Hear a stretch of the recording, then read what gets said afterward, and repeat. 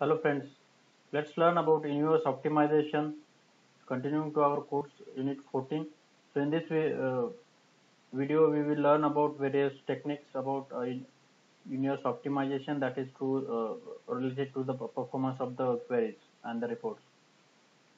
So how we can optimize the universes using parameters. So this is one thing means we, we should configure uh, connection parameters uh, while creating it so connection configuration parameters is one thing where we, when creating or editing connection, we can set up certain parameters uh, that will optimize uh, the connection against the database in use. So uh, we can have the query time shortened by optimizing the connection. So connection configuration parameters to optimize universe, we can define the duration of the connection in the to the pool, define how uh, business objects product respond when database resources are not available.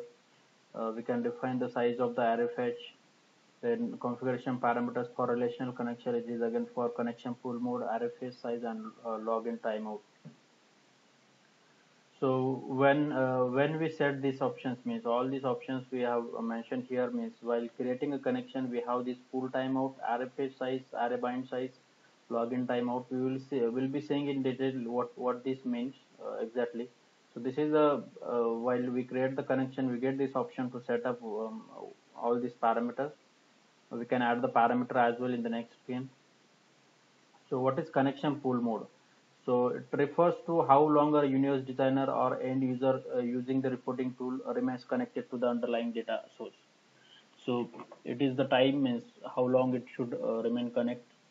So uh, there are options like disconnect after each transaction means if he, uh, someone is running the report on or running the query then it should disconnect. So that is um, one transaction if you completed keep the connection uh, active for uh, we can specify some time for that particular duration or period of time you can keep the uh, session active. We can keep the connection active during whole time is all the time is when the user is logged in uh, we can keep it active. Uh, and pool timeout is length of time to keep the connection uh, open so array size is one thing means we specify the maximum number of rows authorized uh, with each page from the database. Whenever the query is hit at one go means how many rows it should fetch. That is array, array size.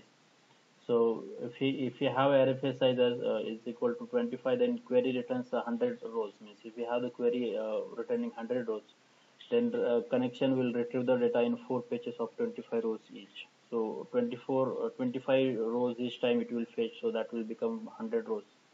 We can deactivate the set uh, RFA size uh, if we are making it equal to 1 then login timeout we can specify the number of minutes that must be spent to establish a connection before an error message is displayed so we have key and values properties JDBC driver properties where we can specify that um, uh, values for the JDBC driver properties and um, that driver is selected for the connection. So um, we can define the value for more than one property separated by uh, commas.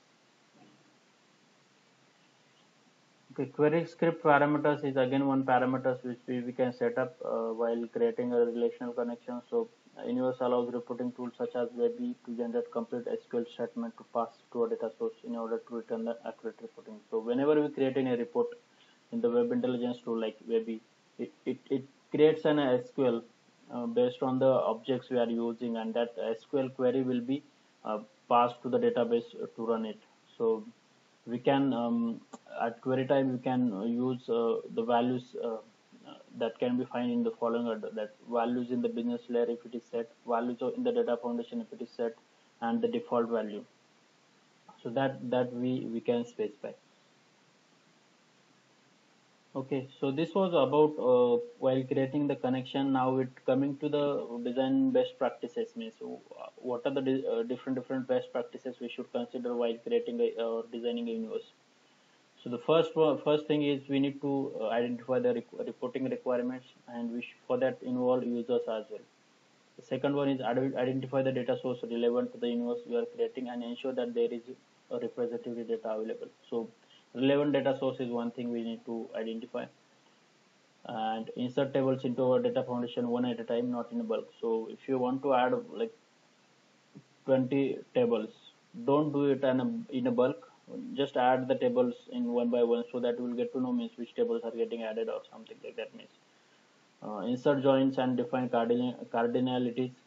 So defining cardinalities manually it's it's a good practice. Uh, and you'll get to know means if it is correct or not. By, because sometimes uh, the tool automatically detect the cardinalities it may not correct. So for that purpose we need to um, check it manually. Lay out the data foundation with cardinal spacing same direction and always arrange tables logically in structure window. So we should be organize it uh, logically in a structure window so that it will be helpful for visualizing the loops and context. Add relevant comments to data foundation means wherever possible for the uh, uh, objects we are or tables we are adding add relevant comments so that it will be easy to understand means uh, to make the changes later changes.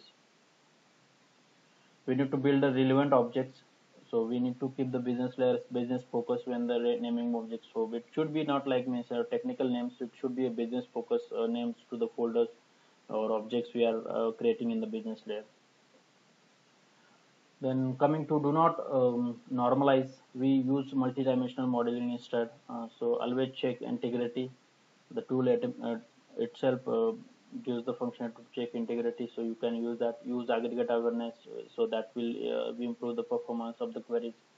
Use aggregate sql functions on business layer measures. So this is one one um, thing which we uh, need to use set the connection parameter. That uh, already i have mentioned is how we can set the connection parameter so that is we need to specify we can remove unnecessary LOVs a list of values so which are not required.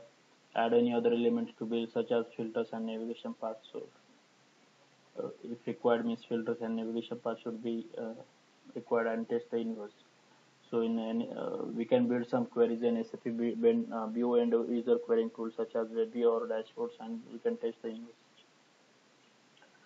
uh, best practices for folders and objects means while creating folders and objects in a business layer it should uh, there are some best practices so let's understand that. So we can use minimum possible objects in the business uh, layer. So 500 max allowed. So too many objects may slow down the time required for user to find the object. So uh, it's it's like means keep the 500 maximum uh, uh, element there create condition objects when possible so that it will restrict the data means if, which is not required always type a, a description of the uh, object so description is very much required means when we're creating the objects Consider putting the full folder path and object name in the object's uh, description. Dimensions, measures, and attributes object should be within their logical folder. So it should be like a logical or arrangement of the folders and um, that objects belong to that particular folder. So that would be easy to for, for identifying and as a business perspective. And format objects uh, and measures within the business layer. Okay, while creating joins in the data foundation, we should have uh, some of the best practices. Uh, first one is avoid building data foundation with jo no joins between. Don't standalone, uh, don't keep standalone tables in the data uh, data foundation. Okay, join with them, uh, join the tables with some other tables wherever possible. Optimize database performance by shortcut uh, using shortcut joins. Maybe shortcut joins if required means we can use that will inform, improve the performance and avoid outer joins which is um, wherever possible we should avoid outer joins because it will have the negative impact effect on the performance since uh, outer joins returns more uh, data rows so um, uh, and if there are no indexes then indexes are uh, in the databases then it, uh, then it is a problem for when we use outer joins. Okay so that that's all about this uh, universe optimization. Uh, we learn about various uh, points related to connection parameters connection um, options Uh, then uh, about universe design practices uh, folders and joins practices. So let's understand what I have covered. What do the connection pool mode of refer to?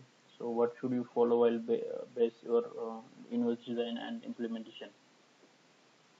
So connection pool mode is uh, refers to how long a universe designer or end user using the reporting tools remain connected to the underlying data source and uh, we should follow the best practices while uh, designing our emails. So that's it. Uh, that's all from uh, this uh, video. I hope you have understood this means the concepts related to the universe uh, optimization. If you have any questions, then please put it in comment section.